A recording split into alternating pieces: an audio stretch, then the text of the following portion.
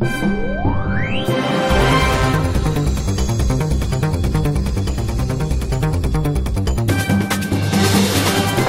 con Policía Naval, Policía Vial, Fuerza Civil, todas las corporaciones de la seguridad.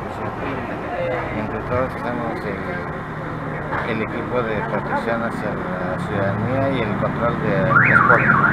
¿Va a haber algún eh, operativo especial en ese día como alcoholimetría o algunos retenes?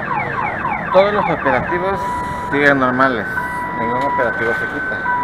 Sí, esos operativos los lleva a cabo el mando único. Y gracias a esos operativos hemos reducido el índice de accidentes, tanto en el malecón como en la ciudad, ¿En qué porcentaje ha bajado el índice de un 40%.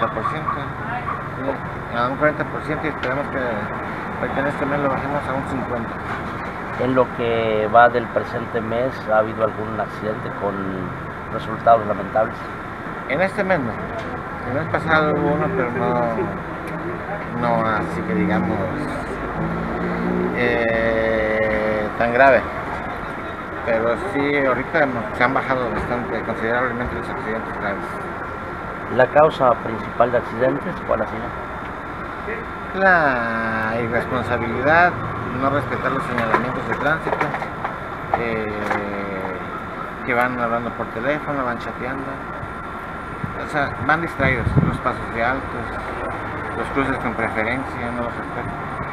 Eh, más sin embargo, ha ido entendiendo poco a poco la ciudadanía y lo hemos estado bajando. Y luego repetir, bajó un 40%.